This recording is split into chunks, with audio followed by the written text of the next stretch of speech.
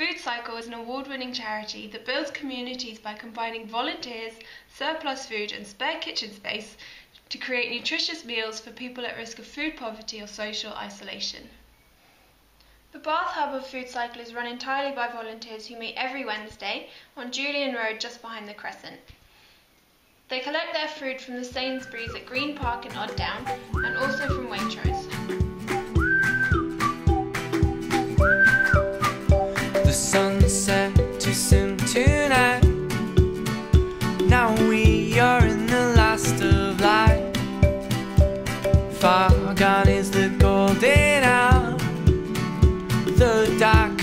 Never dim your eyes.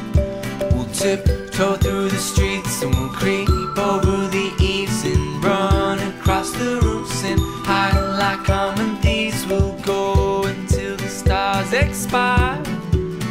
So here is where the culprit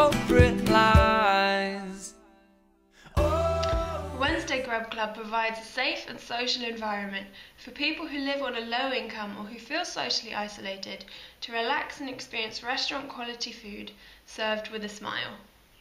Uh, I love volunteering for Food Cycle because it's a great community feeling every Wednesday and we're open to everybody and everybody shares a meal together and it's just a lovely thing to do on a Wednesday evening.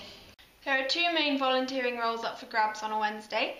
The first is chefing, where you help decide the menu depending on what you've got given that day, and then obviously help cook the food, and then the all important washing up.